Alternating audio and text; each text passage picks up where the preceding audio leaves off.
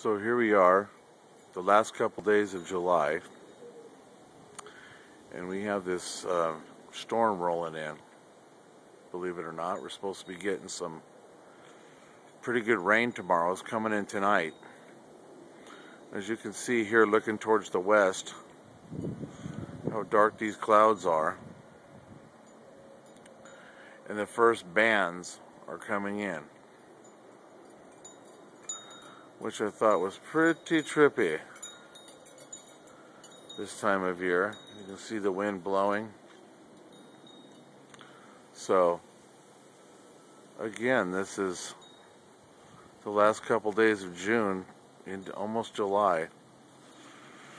And it's supposed to be like uh, 70, you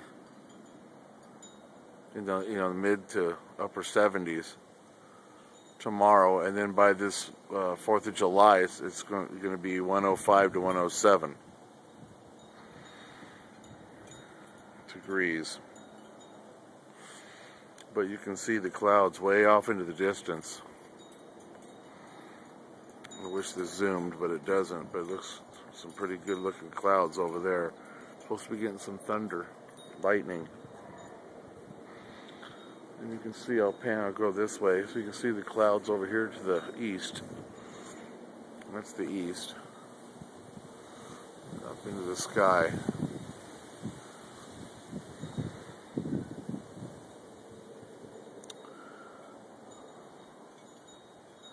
And that is it for now.